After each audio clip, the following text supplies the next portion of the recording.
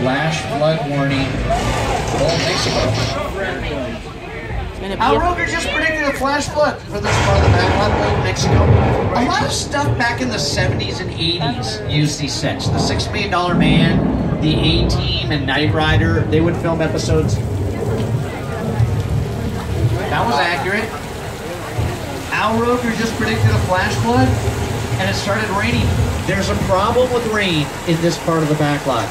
Old Mexico is built on a hill. During heavy storms Ma, like your, this, your hat. we've been known to have floods. You guys might want to be careful if you're sitting on the left side. Watch the top of the hill and keep your cameras protected. We've got a flood coming our way.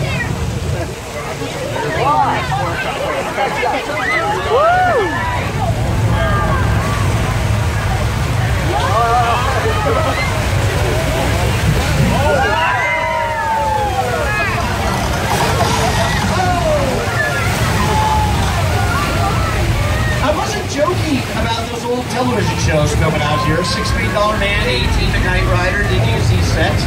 It's also seen in a family comedy, Big Fat Liar.